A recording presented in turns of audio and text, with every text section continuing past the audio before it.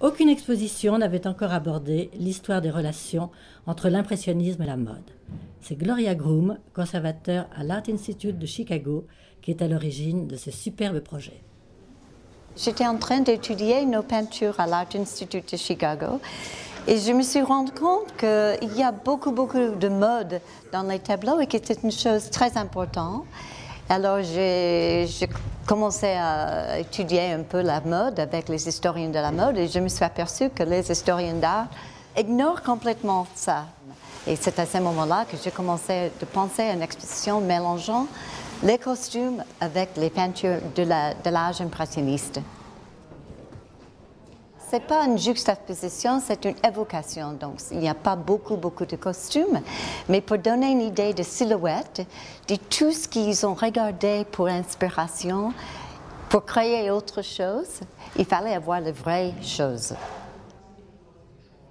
Tissot est très important dans notre exposition. J'ai insisté de voir Tissot puisque c'est un ami de Degas, de Manet, donc il était dans le cercle des impressionnistes.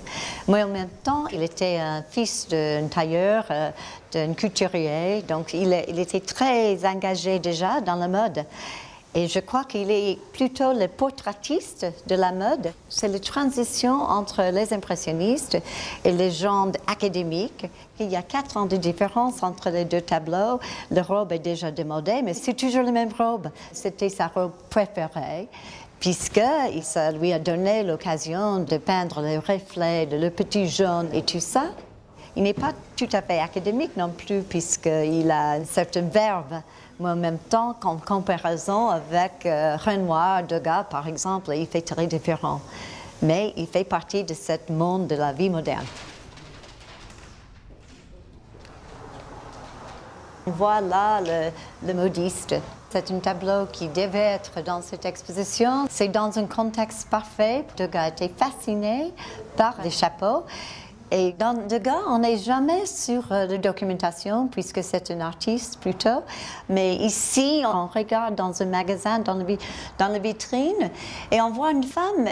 C'est peut-être une modiste, mais en même temps, ça peut être une cliente, on ne sait pas. Mais ce qui est bien, c'est que les chapeaux, qui sont vraiment d'une certaine énormité, il a fait comme un tableau abstrait. Donc, on peut isoler les chapeaux, mais on ne sait pas exactement comment ils sont. C'est pour ça que c'est très important de voir les chapeaux en vrai pour comparer, pour voir qu'est-ce qu'il a fait. La génie de Degas, c'est de, ne jamais décrire, c'est de toujours nous laisser dans l'ambigu.